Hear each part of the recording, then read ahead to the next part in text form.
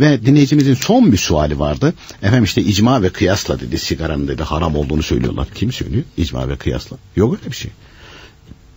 Eğer icmayı bizim gibi derbederlerin bir araya gelerek de böyle karar verdiğini söylüyorsa yok. İcma eshab-ı kiram tabi ve müştehit talimlerin bir konudaki ittifakına denir.